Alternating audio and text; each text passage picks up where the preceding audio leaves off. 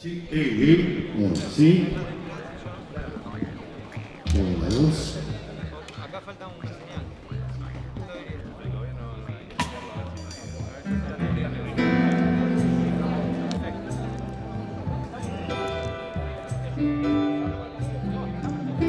un honor enorme, un placer enorme, una gran emoción y algo que estábamos esperando que sucediera y hoy está por suceder. León. León. Leoncito. León. No solo a celebrar el cumpleaños, venimos a celebrar la obra, venimos a celebrar su trayectoria, su coherencia.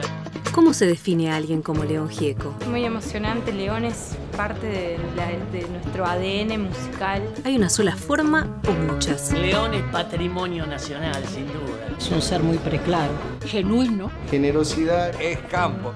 ¿Cómo se hace para definir una vida llena de música, de viajes, de amigos, de historias? Ser argentino. Sensibilidad, Ni una pizca de egoísmo en él. coraje. Y sobre todo, ¿cómo se hace para definir a alguien que con su obra se multiplicó en las vidas de tantos de nosotros y nosotras? un recital donde nos vamos a juntar tres generaciones o tal vez hasta cuatro de, de gente que sigue a León. Él es el vividor de todos los mundos, ¿no? ¿Cuántos leones hay? Imprescindible. Construcción. Poeta. Es un referente realmente. Es un capo. Un sensei. Un padrino. Nos hizo más libres.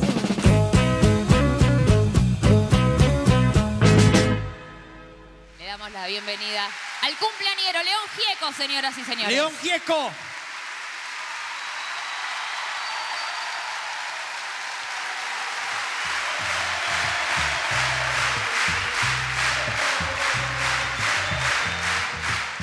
Buenas noches a todos. Es un honor que ustedes estén acá esta noche. Raúl Alberto Antonio. ¿Cómo llegamos a León de Raúl Alberto Antonio? Yo tenía 11 años, cantaba en, un grupo que se llama Los Moscos, de rock, y quemé un equipo y me pusieron León, el rey de las bestias. Vengo desde un pueblo azul. Mi papá me llevaba en su auto viejo a tocar a, la- a los pueblos aledaños a Cañada Rosquín. Ahí tocaba la guitarra ya. Sí, sí. Yo a los 7 años me compré mi primera guitarra, trabajaba en los lugares y me compré yo mi primera guitarra con mi dinero. Ahí va. A los 8 empecé a cantar y mi papá y mi mamá me prepararon para venir a Buenos Aires. Y en aquella época venir a Buenos Aires no era igual que ahora. ¿no? Cuando León llegó a Buenos Aires en 1969, gobernaba el país Onganía. Dos cosas marcarían la obra de León. El contexto social y político de represión que se vivía y por otro lado, la rebeldía que afloraba en la juventud, sobre todo en la música. Sí, al poco tiempo de venir a Buenos Aires ya tuve la, la primera experiencia de componer la primera canción y la primera canción destapó una olla que se venía cocinando con varias canciones. ¿Cuál fue esa primera canción? Hombres de Hierro. Muchacho tu voz joven, como larga la luz el sol, que aunque tenga que estrellarse contra un paredón, que aunque tenga que estrellarse se dividirá en dos. tocada arriba sobre Blowing in the Wind de Bob Dylan. Yo tocaba arriba de- de- del disco ese, ¿no? Con la guitarra. Y Claudio Gavis estaba armando un grupo con el, el chico que, que vino conmigo a Buenos Aires, con Horacio Fumero. Y yo le pregunté, le dije, che, estoy escuchando Freewheeling, este disco de Bob Dylan. Se escucha una armónica, un, tipo que canta, que es él, y la armónica, dice, no, él toca con una trill, con la armónica, si querés te traigo uno. Y me trajo uno con la armónica en el tono de Blowing in the Wind. Por eso Hombres de Hierro es un afano total a Blowing in the Wind. Hombres de hierro que no escuchan la voz. Hombres de hierro que no escuchan el dolor.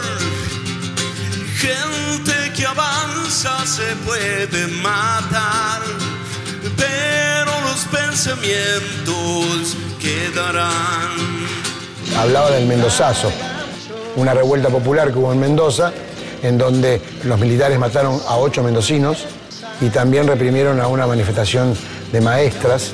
Dile a esos hombres que traten de usar a cambio de sus armas, sus cabezas. León es eh, uno de los de los pilares de toda esta cosa que hacemos todos. ¿no? Fue como el inicio para que de alguna manera, después de muchos años, este, termináramos este, con mi banda fusionando el, el folclore de esta manera.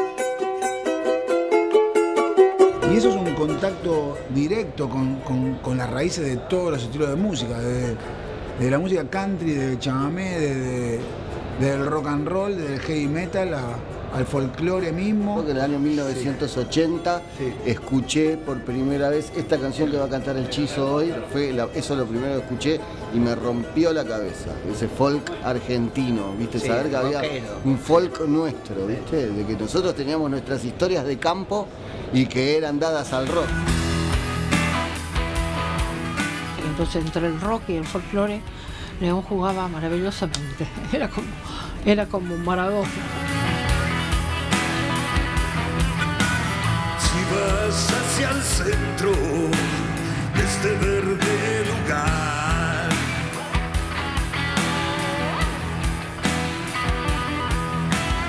encontrarás mi pueblo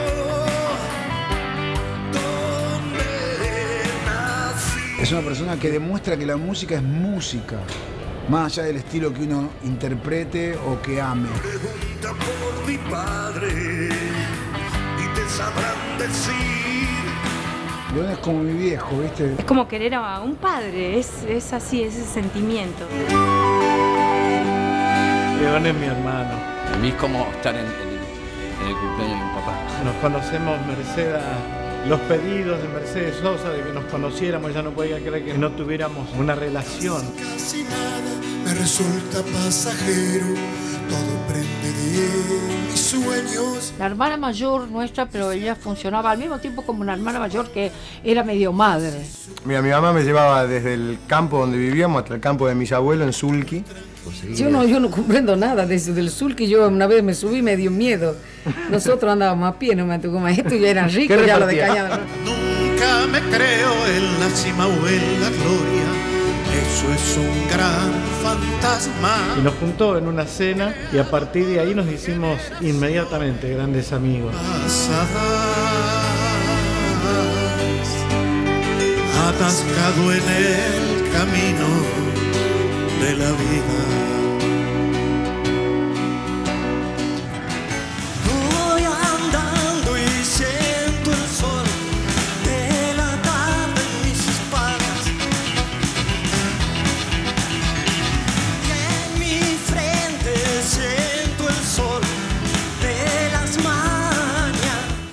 Primeras veces que íbamos a Córdoba íbamos juntos los dos con una guitarrita así apretaditos y tocábamos en María Castaña, bueno, así empezó una larga amistad. que Es, un- es un hermano para mí, ese es por su hijo más que una banda, que es una hermandad.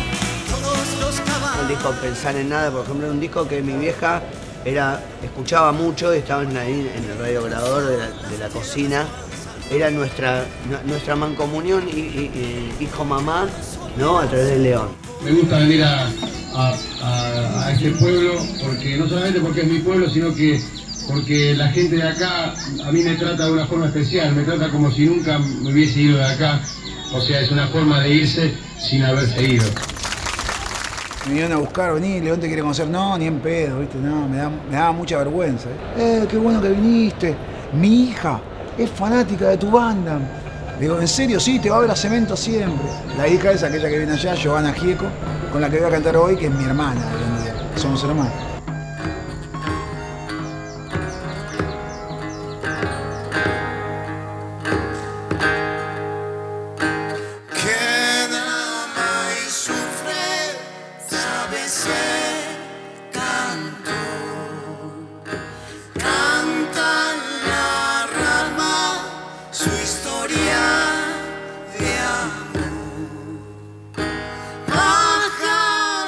Expresa algo que todos los seres humanos desean en él mismo, porque no es fácil expresar auténticamente el sentimiento, lo, lo que, el, lo que el espíritu dicta. disimulando su corazón. Se relaciona con naturalidad. Cuando vos te juntás con él, como ya somos grandes amigos de antes. como muy natural vincularse con él. Recientemente León escuchó mi música, no sé cómo, llegó a mi música y me dijeron, che, León le encanta lo que haces. Y yo, ¿qué? Entonces cuando nos saludamos hoy, fue la primera vez que nos saludamos los dos sabiendo quiénes somos. ¿no? Bueno, yo ya sabía quién era él de antes, pero... Y fue así, hoy realmente te diría que es cuando nos conocimos. Ama y sufre sabe ser canto.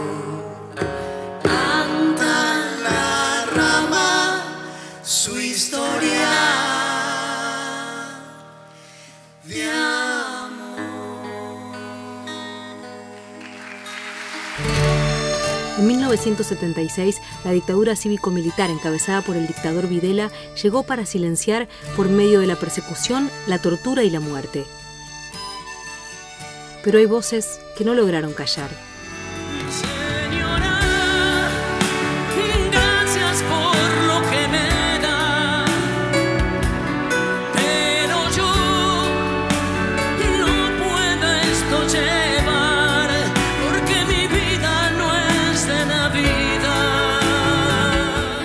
Es un cronista de las distintas épocas.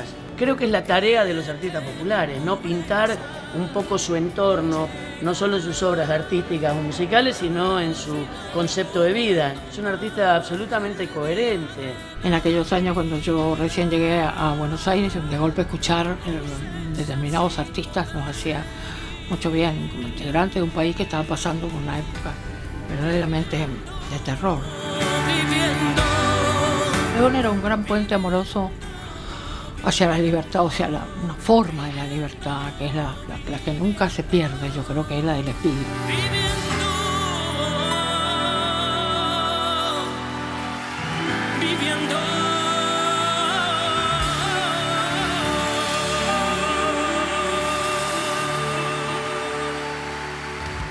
Los temas censurados en, en los años más oscuros de, de nuestra historia, la Navidad de Luis. Que la canción tenía mensaje satánico porque le habían escuchado al revés. No. No, no, yo le dije que, que estaba bien. Si al revés habla del diablo, al derecho habla de Jesús. Ahí está. Por ahí el problema era hablar de la pobreza, ¿no? Me parece. Fui uno de los primeros artistas que escuchó el primer disco de Juan. ¿Te acordás, Juan? Y a mí me parecía bárbaro, ¿no? Y me dice, no, ¿por qué me están diciendo que yo soy medio difónico? Y yo, ¿Qué te vas a hacer difónico? Fue uno de los primeros, si no el primero referente que escuchó ese disco y que para mí lo hiciera un tipo como León Gieco, para mí era un referente absoluto. Nada, fue una emoción tremenda, me dio, me dio mucho impulso realmente. Hizo su camino, que en su camino lo ayudaron muchas personas y él ayuda a muchas personas para que crezcan artísticamente y eso es algo hermoso.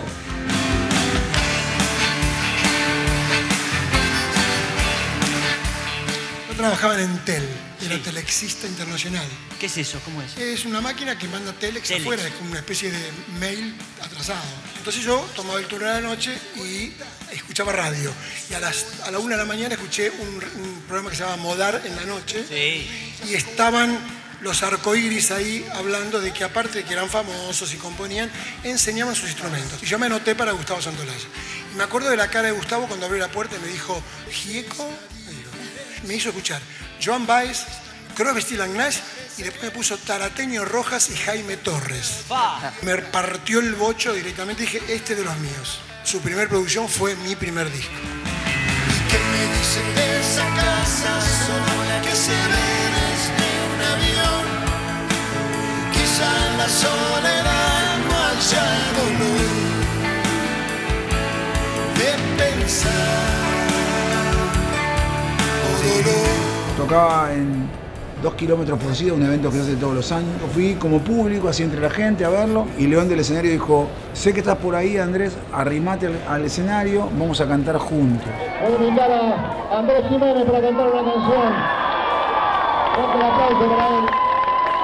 Yo estaba grabando mi primer disco y apareció León en el estudio donde yo grababa.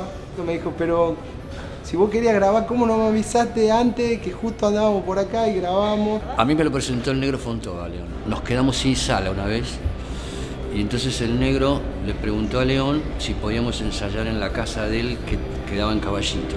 León y Alicia, ¿no? Nos dijeron, sí, vengan, ensayen acá hasta que, hasta que tengan otra sala. Así que para mí fue como, wow, no volví a mi casa. Es, decía a mis amigos, che, ¿sabes en dónde estoy ensayando? En la casa de León Gieco. ¿En serio? El León siempre fue generoso y siempre nos tiraba una onda. año 1995 se había querido privatizar la educación en el país y se hizo una toma de facultades a nivel nacional y en Mar del Plata se hizo una y en el mismo evento estábamos nosotros, lo cruzamos, le alcanzamos un cassette que habíamos grabado, un demo, nuestro primer demo y meses más tarde nos llamó y nos consiguió un estudio para grabar nuestro primer disco. Es como que León siempre se ubicó, se ubica y se sigue ubicando en un lugar de dar, no de esperar el retorno de eso que dio. Entonces me parece que a nivel así espiritual, comportamiento, sabiduría, es hoy un faro que ilumina más y más. pensar.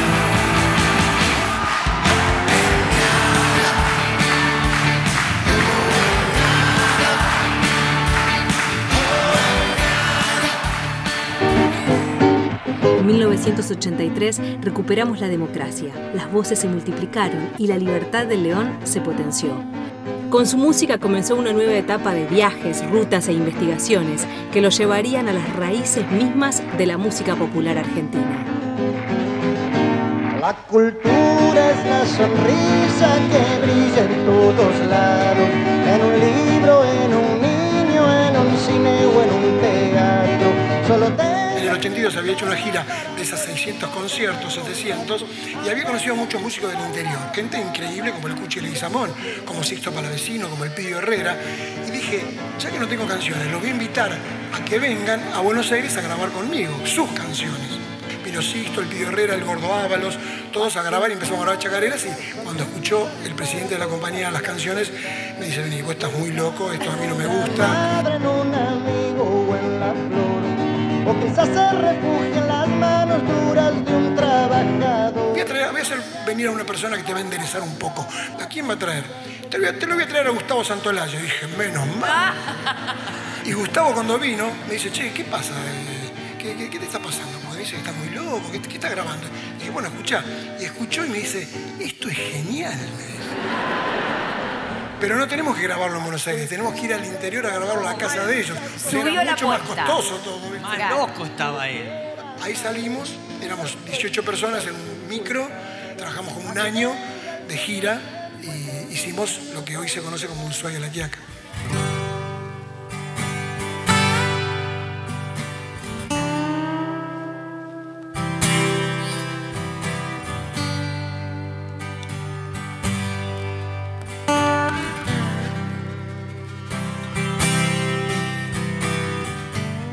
Yo estoy muy contenta tener, de tener este, de ser cómplice de este proyecto. Es importantísimo el hombro que le prestan a este país en este, en este trabajo, en este operativo.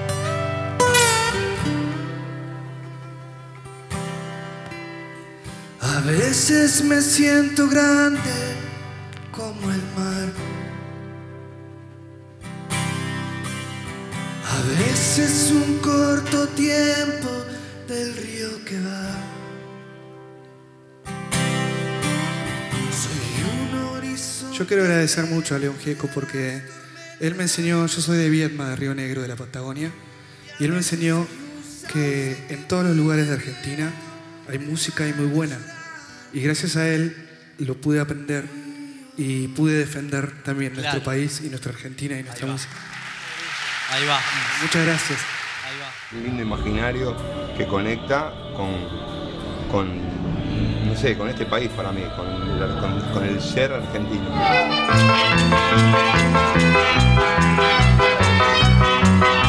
Es esas cosas que te hacen sentir argentino y te gusta ser argentino, que a veces hay cosas que sí, hay cosas que no, y de repente la discografía de León Gieco justo es una que sí.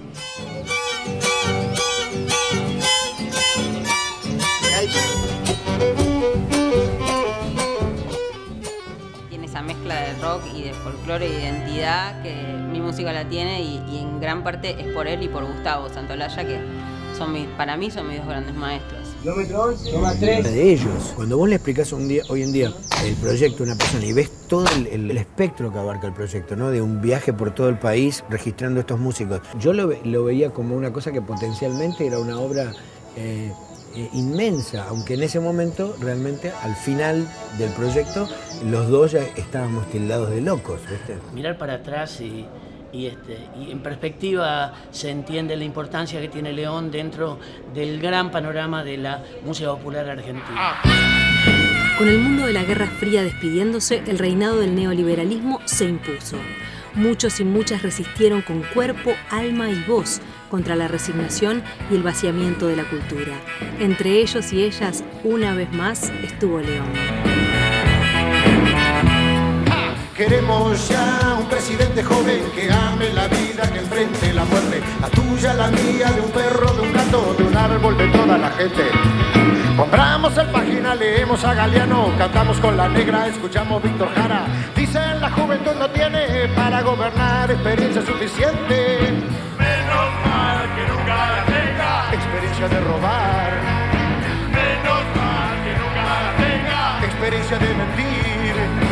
Somos del grupo Los Ayeres de Jan y le robamos melodías a él. Porque hay que, hay que animarse a, a levantar la voz cuando, cuando hay que levantarla, a, a ir atrás de la injusticia y, y no quedarse callado. Quisiera poder, poder tener más coraje a veces con mi arte, ¿no? Y, y León enseña un poco a que hay que animarse, ¿no? León es más que un artista. Para todos nosotros, los que fuimos salvados por la obra de León. Parecíamos todos del mismo barro. Pero particularmente Mensajes del Alma, ese disco nos salvó del naufragio de los 90. Ah, del fin de, de la historia, eh, del fin de los sueños. eh, eh, a mí me salvó la vida. A mí me salvó la vida. no hacer más. Esta sociedad mercantilista del capitalismo salvaje nunca va a querer lo mejor de vos. Y eso mejor de vos, ¿por qué tiene que tener un precio en el mercado? Esos debates eh, había en los 90 y sigue habiendo. En esos debates fue sal- salvación. El engaño y la complicidad. supo reunir en, en- en su arte todas las expresiones más profundamente populares de nuestro pueblo y constituyó una memoria musical, trabajó, creó una memoria musical en la que nos reconocemos todos. Todo está guardado en la memoria. Sueño de la vida y de la historia. La memoria despierta para herir a los pueblos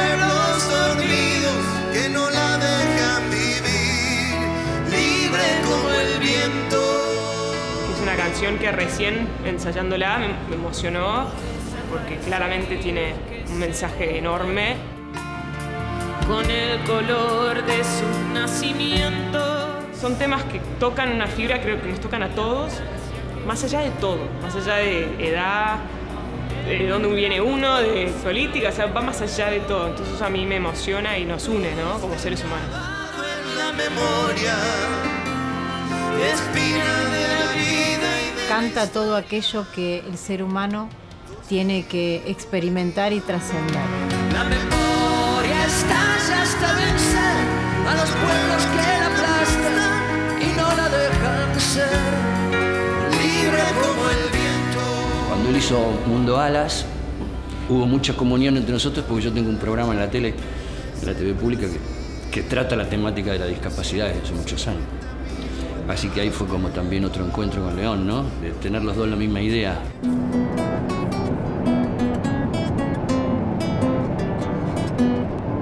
Tenemos la posibilidad de realmente de hacer una gira por diferentes ciudades de la Argentina. ¿A ustedes les parece que es posible?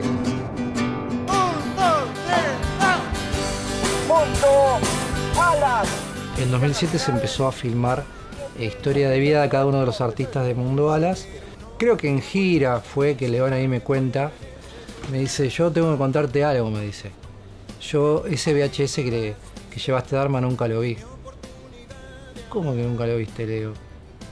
Y me dice León, y porque mm, cuando Gustavo me cuenta que, había un muchacho en silla de ruedas que, que bailaba el, un tema mío y la memoria, tan tema tan importante, emblemático, yo no me animé a verlo, me dice León. ¿Por qué le digo? Porque me dio, me dio tanta admiración.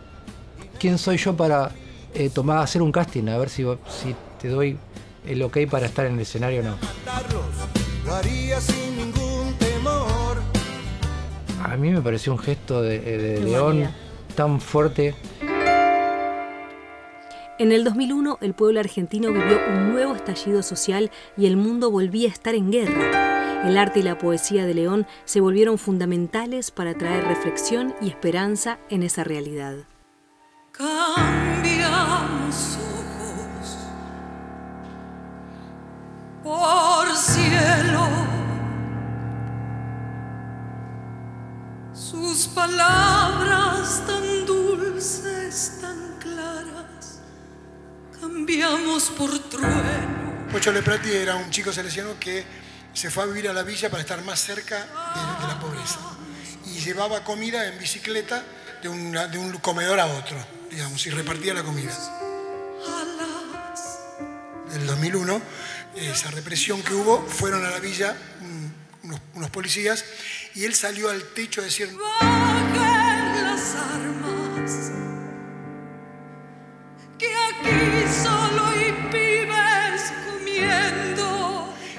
policía le tiró y lo mató. Por eso le quedó el ángel de la bicicleta. Cambiamos ojos por cielo. En el pensarnos como músicos y músicas y músicas acá en la Argentina es pensarnos como León, con el compromiso social y con todo lo que la música puede generar, ¿no? La conciencia, el, el llamado, el cantar, el nombrar.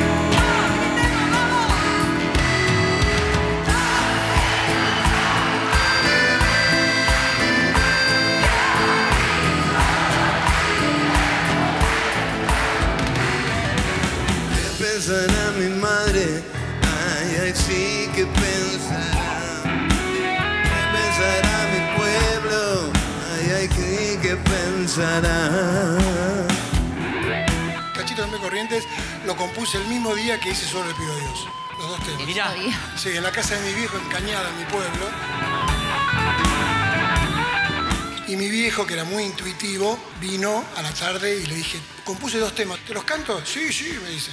Y entonces le canté Cachito y me dice, muy buena la canción, che, extraordinaria. Bueno, después eh, vino Solo le pido a Dios y mi viejo dijo, uh, esta canción va a recorrer el mundo. León Gieco, amigos y amigas. León Gieco para el mundo. ¿Qué sentís cuando la gente canta tus canciones? Qué pregunta, ¿no? Las canta desde el comienzo, ¿eh? Las van aprendiendo de a poco. Y ya parece común porque hace mucho tiempo que la gente canta las canciones. Pero una vez Mercedes Sosa eh, me dijo, eh, yo quiero que vengas a Alemania a ver cómo el público alemán se para y empieza a cantar Solo le pido a Dios. Y, y con las manos Solo le pido a Dios. Creo que la canción tiene letra, música y alma, ¿viste? Y él es el alma lo que hace cantar a la gente. ¿Cómo definimos a León? Con sus letras y su música, el alma de sus canciones llegó a millones en el mundo entero. Entonces, ¿cuántos leones hay? Millones.